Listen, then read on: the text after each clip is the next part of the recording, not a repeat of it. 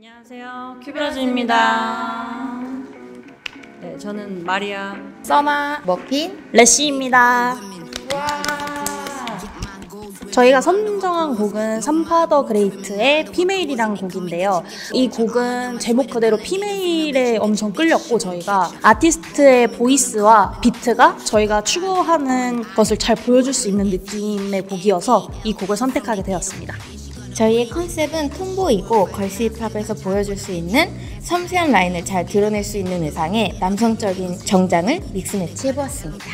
저희가 추구하는 것들을 수강생 분들과 함께 나누고 싶었고 그걸 보시는 분들께서도 잘 느껴주셨으면 좋겠고 저희 넷뿐만 아니라 함께 하신 수강생 분들까지 8명 모두 하나로 봐주셨으면 좋겠어요.